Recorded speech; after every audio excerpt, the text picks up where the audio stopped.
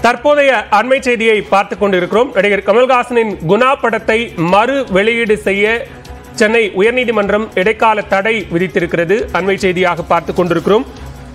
நடிகர் கமல்ஹாசனின் குணா திரைப்படத்தை மறு வெளியீடு செய்வதற்கு சென்னை உயர்நீதிமன்றம் இடைக்கால தடை விதித்திருக்கிறது.